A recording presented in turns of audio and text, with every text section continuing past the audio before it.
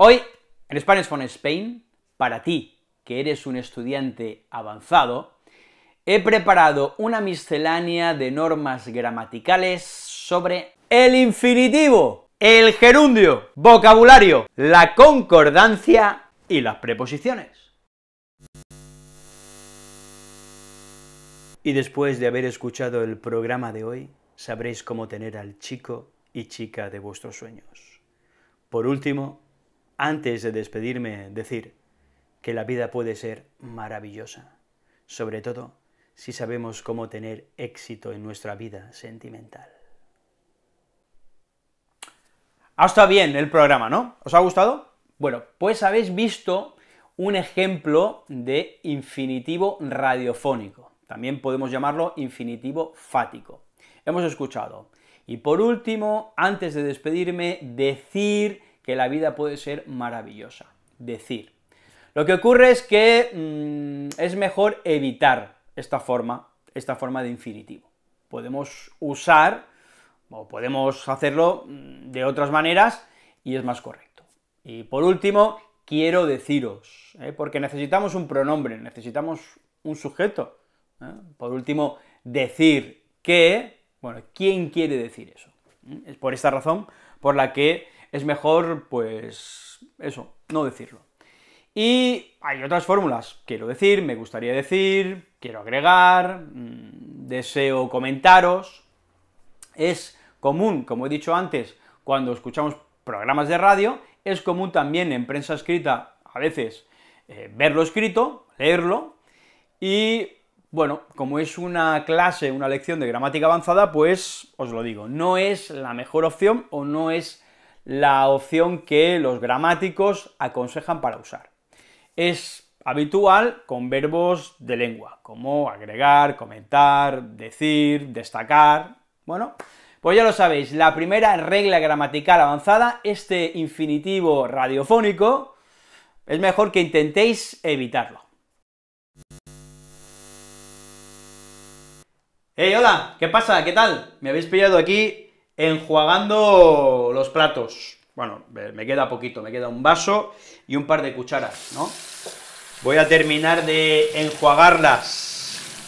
Las he enjabonado, he enjabonado las cucharas y, el vaso, y ahora pues los acabo de enjuagar. Así de simple. 999, 1000, 1001, 1002, 1003, 1004... ¡Uy! ¡Vaya, hombre! Últimamente nos vemos en las más insospechadas situaciones. Bueno, estaba haciendo un poco de, de ejercicio, me habéis pillado todo sudado. Permitidme que voy a enjugarme el sudor, ¿vale? Soy un poco impresentable. Es que estaba haciendo sentadillas y, y bueno, pues estaba todo lleno de, de, de, sudor, ¿no?, del esfuerzo, y bueno, me enjugo un poco el sudor, y mejor, estoy más presentable así. Pues lo habéis visto con dos ejemplos muy claros. En este caso, es una lección sobre vocabulario. Tenemos los verbos enjuagar y enjugar, que aunque son muy similares, tienen significados distintos. En el primer, la primera situación estaba fregando los platos, y los platos estaban llenos de jabón.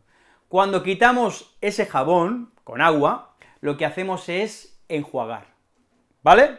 Quitamos el jabón con agua, entonces enjuagamos.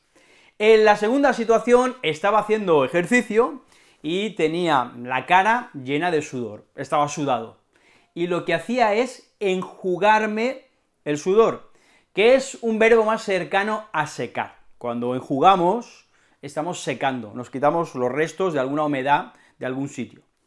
Entonces, es habitual usarlo con mmm, el sudor, enjugar el sudor, o es habitual también, o no es habitual, perdón, es culto decir enjugar las lágrimas.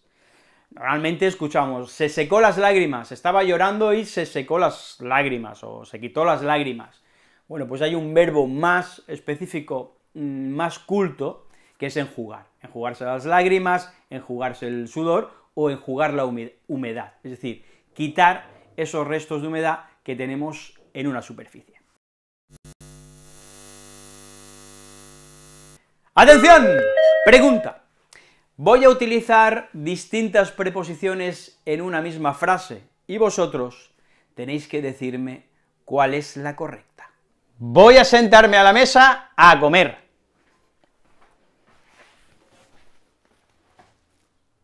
Voy a sentarme en la mesa a comer.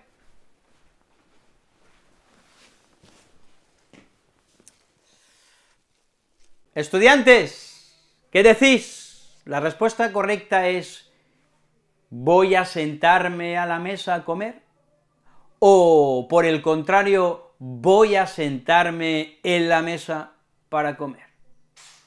Bueno, pues os dejo un segundo, dejad el comentario, parad el vídeo y dejáis ahí el comentario y a ver si estáis en lo cierto.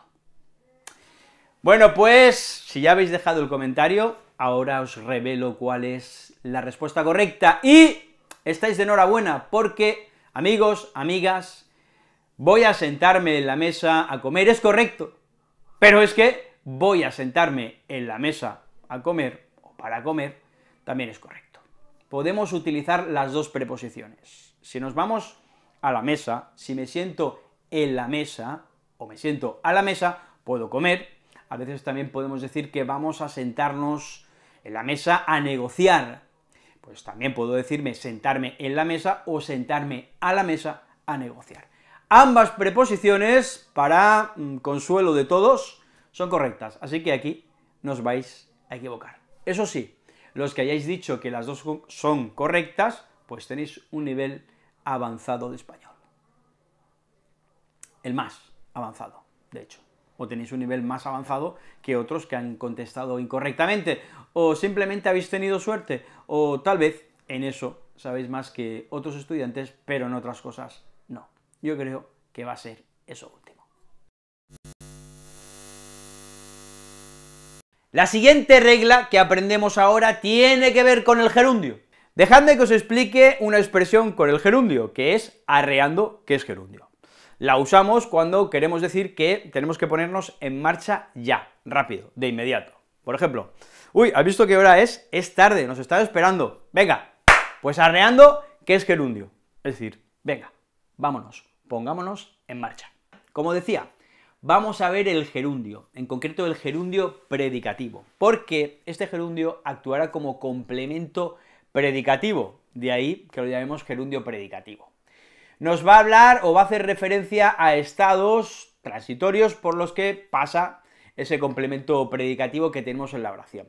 Lo que puede parecer un poco complicado, ahora, cuando yo lo explique, lo vais a entender y vais a ver que es muy sencillo.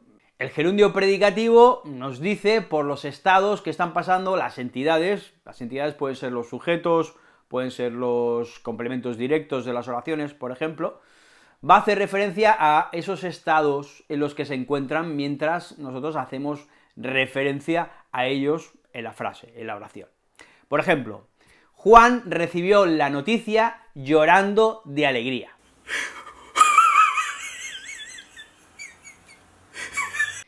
Otro ejemplo, ayer hice un examen pensando en las vacaciones, porque ahora mismo vienen las vacaciones en cuanto terminen los exámenes. Bueno, estos gerundios básicamente actúan como adverbios, porque nos dicen cómo hacemos una acción, ¿no? Hice el examen pensando en las vacaciones, nos dice que mientras nosotros hacíamos el examen, el examen pensábamos en las vacaciones, lo hicimos pensando en las vacaciones. O recibió la noticia llorando de alegría, nos dice cómo recibió la noticia. Lo que hace es sustituir a un adverbio, a una eh, locución adverbial, a un adjetivo, este gerundio predicativo. Bueno, pues ya conocéis otra norma gramatical avanzada. Erguirse, erigirse, erguirse, erigirse, erguirse, erigirse, erguirse, erigirse, erguirse, erigirse. ¡Basta ya! ¡Basta ya! Vamos a explicar estos dos verbos, que se parecen mucho en su ortografía, pero no tanto en su significado. Para referirnos a una obra edificada, construida, por ejemplo puede ser un edificio, que se levanta sobre una superficie, vamos a utilizar el verbo erguirse. Para referirnos a una obra, a un edificio, a una construcción que se levanta sobre una superficie, vamos a encontrar que algunos nativos, nativos cultos incluso, usan estos verbos indistintamente. Bueno, pues el adecuado es erguirse, porque erigir sí que querría decir levantar, instituir, fundar algo, por ejemplo, una construcción, pero no es pronominal. El pronominal erigirse quiere decir dotar a alguien o darle a alguien una capacidad o una característica que antes no tenía. Generalmente es positivo. Por ejemplo, eh, Luis se erigió como el jefe del grupo.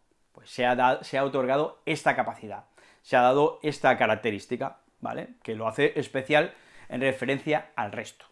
Pero mm, el verbo pronominal que nosotros debemos usar si usamos pronominal es erguirse, Hablemos ahora de la concordancia, porque, mm, bueno, en español la primera persona soy yo, la segunda persona eres tú, la persona a la que yo me dirijo directamente, y la tercera persona será él o será ella, y es una tercera persona que no está aquí, y todos los pronombres concuerdan, ¿no? Yo voy, yo soy la persona que hace esa acción, hablo de mí, primera persona.